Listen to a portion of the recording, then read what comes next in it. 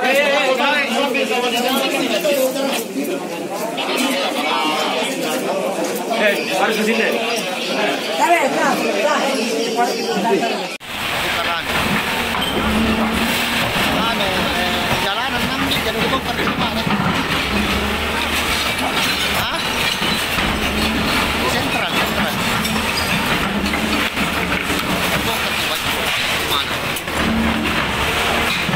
Alat kami turun ini.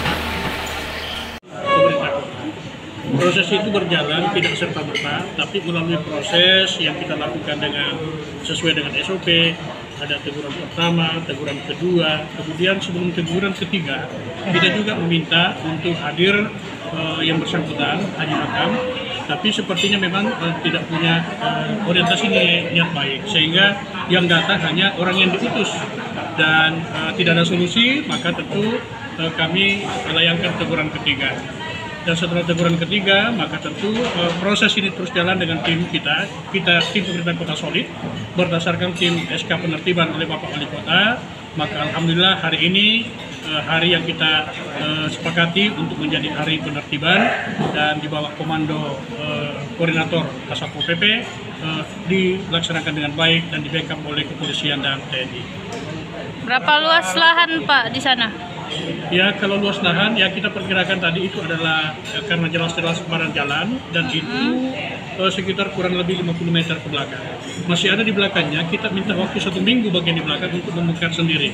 Kalau dia tidak lakukan maka pemerintah kota tim penertiban itu akan kembali eh, untuk me- me- apa namanya membebaskan itu untuk memfungsikan kembali sebagai eh, fungsi jalan. Hmm, Karena jalan itu adalah masuk Iya. untuk halayak semua.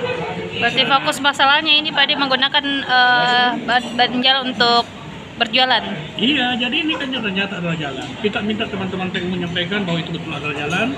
Kita eh, minta bagaimana eh, kabit aset di BPKD bahwa itu adalah aset kita. Mm-mm. Kemudian DTRB kita tanya bagaimana dengan izinnya, tidak punya izin mendirikan bangunan. Bahkan kalau kita mau lebih ke dalam lagi, itu adalah banyak pemalsuan dokumen administrasi. Termasuk eh, administrasi tentang SKPD kami, Dinas Iya. Pertanahan Uh-uh. yang dia eh, modifikasi sehingga eh, tidak benar karena kopinya dinas pertanahan yang tanda tangan di bawah adalah eh, bagian pertanahan sementara tahunnya 2015 dinas pertanahan nanti ada di 2017 Oh, berapa itu Pak dokumen apa itu Pak? Eh, mengenai rekomendasi-rekomendasi untuk terkait dengan proses eh, lahan itu Ha-ha. Oh, Sudah berapa lama sebenarnya di pos itu, Pak? kalau informasi dari teman-teman di eh, dinas pertanahan dulunya ini yang jadi gerbongnya adalah DTRB tetapi sudah bergulir sejak akhir 2019 2020 tidak ada solusi begitu saya masuk di 1 September eh, kami mencoba untuk mencari ruang-ruang yang memang betul-betul kita punya eh, fasum untuk kita kembalikan fungsi dan dukungan penuh daripada Kasatpol PP. Sejak kapan eh, keluar Teg- Pak? tidak ada di yang anu kak perontak-perontak Secara teknis tidak. ya Karena sebenarnya banyak lapak di sana. Bandung Korban ini satu bangunan gedung dua lantai permanen yang dulunya sekitar 6 atau 8 lapak di situ yang digabungkan digantunggi oleh eh, yang bersangkutan kemudian dibangun bangunan sebenarnya dulu, dulunya itu banyak lapak di situ. Nah, dia berentetan semua.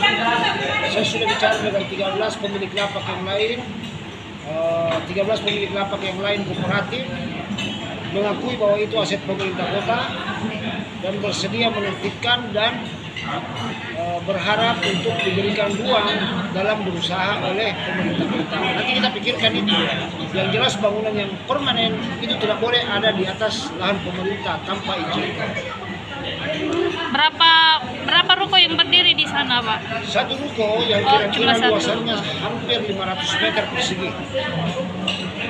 Jadi tadi dibongkar Pak ya rukonya, ditertibkan ditertibkan. kami tertibkan untuk kepentingan semua dan juga kepentingan para pedagang karena jalan merupakan juga uh, fasilitas utama untuk pedagang di mana para pembeli masuk ke wilayah-wilayah tersebut perlu merasa nyaman, lancar dalam berkendara menuju tempat para pedagang. Jadi penertiban ini juga adalah kepentingan para pedagang. Ada perlawanan tadi di sana Pak dari pihak terkait. Saya pikir mungkin perlawanan hukum bisa saja. Semua eh, warga negara memiliki hak untuk. Kami sebatas melaksanakan juga sesuai tugas kami, mengembalikan fungsi jalan dan itu berlangsung dengan tertib, mendapat dukungan penuh dari eh, pedagang di sana dan masyarakat masyarakat sekitar sini. Kenapa tadi Pak berapa yang diturunkan personelnya?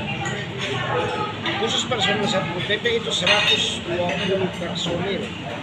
Khusus untuk beton ditambah dengan teman-teman TNI Polri teman-teman dinas lain peralatan armada dari dinas PU semua berjalan.